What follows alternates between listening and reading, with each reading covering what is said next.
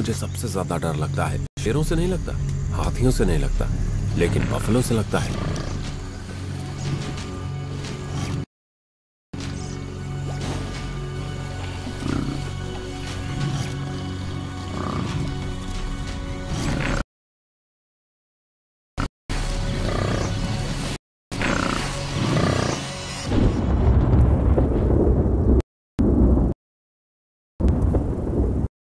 मेरी मदद करो।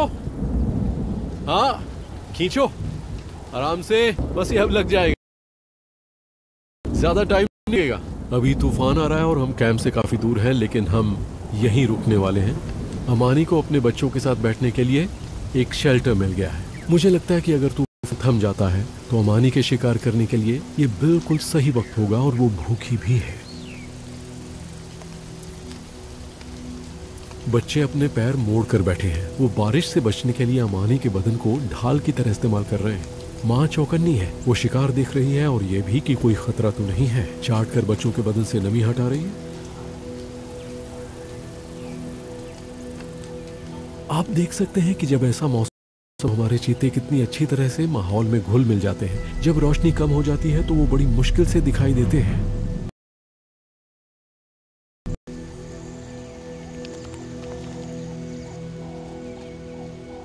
और अब सब कुछ बदल गया है। तूफ़ान रुक गया है और अमानी बहुत सीरियस हो गई है। आप उसके हाव भाव देखकर समझ सकते हैं, उसके कान खड़े हैं, वो देख रही है। लेकिन क्या? थॉमसन गजैल वो कोशिश करेगी और बहुत दूर से जाएगी, ताकि वो उसे आते हुए देख ना पाए, क्योंकि ये पूरी तरह खुला इलाका है। इसे फ़ायदा यह है कि इसके चित्तीदार कोट की वजह से इसकी आउटलाइन दिखाई नहीं देती और नुकसान ये है कि इसके पीछे इसके बच्चे तीन सायों की तरह चल रहे हैं। वो उसके साथ रहना चाहते हैं। लेकिन वो अपना पूरा वक्त ले रही है। वो बहुत एक्सपीरियंस्ड है।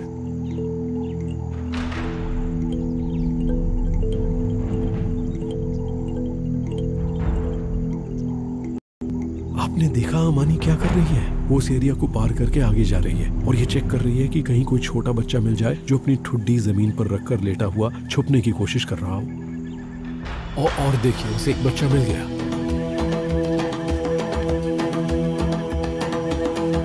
जो मैंने सोचा था वही हुआ। अमानी को एक छोटा बच्चा दिख गया। और अब बच्चे उसे दौड़ा रहे हैं। इस तरह उन्हें शिकार करने की प्रैक्टिस का मौका मिलता है।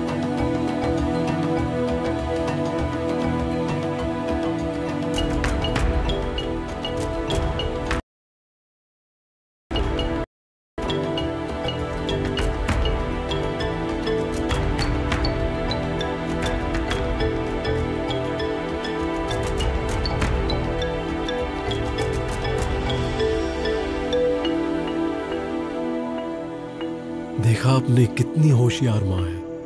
इस तरह से बच्चे शिकार करना सीखते हैं। क्योंकि झुकना, घात लगाना, झपटना, ये सारी चीज़ें उनमें जन्मजात होती हैं। लेकिन उन्हें इसकी प्रैक्टिस की ज़रूरत होती है। तो इन तीन बच्चों के लिए ये एक ज़रूरी सबक है। इसमें और जब शेर को कोई शिकार मिलता है, उसमें एक फ़र्क है। शेर अक्सर बड़े आराम से उसे खाता है, लेकिन चीतों के साथ ऐसा नहीं, उन्हें जल्दी जल्दी खाना पड़ता है, उन्हें जल्दी से शिकार को खाकर खत्म करना पड़ता है, क्योंकि उन्हें डर रहता है कि कहीं शेर और लकड़बग्घे या कोई और उनका शिकार चुरा कर न ले जाए। ये मादा गजैल है, ये माँ है। मैं देखता आ रहा हूँ कि यही एक है जो आवाज़ें लगाई जा रही है, लगाई जा रही है। ये सबको चौकन्ना करने के लिए आवाज़ें लगा रही है, क्योंकि इसने अभी अभी अपना बच्चा खो दिया है। दूसरे वापस जाकर अपने काम पर लग रहे हैं, यानी दिन के सोलह घंटे घास चरना। ये माँ बहुत दुखी है।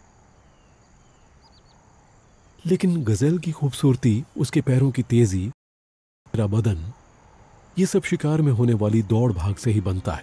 ये एक लड़ाई है, एक दौड़ है, जो विकास की प्रक्रिया में शिकार और शिकारी के बीच लगातार चलती रहती है।